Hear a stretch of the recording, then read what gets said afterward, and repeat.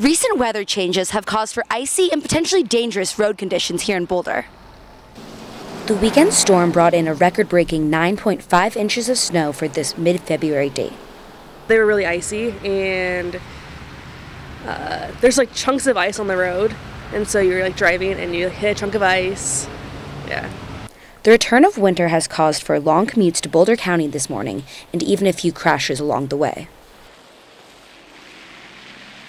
Um, I just was going through a light and I couldn't stop, so I just kind of ran the light. so like the plow was worn out yesterday, really. One accident in particular, resulting in a full road closure for more than two hours between Nederland and Boulder. Traffic conditions were particularly slow on US 36 coming into town. As the snow starts to melt away, the road conditions are starting to clear up as well. I'm Allison Burke, News Team Boulder.